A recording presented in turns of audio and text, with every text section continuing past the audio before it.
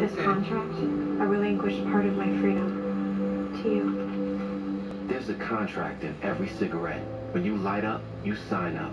Don't let tobacco control you. I didn't even think I was going that fast. I know, it's so hard to tell all the way out here, isn't it?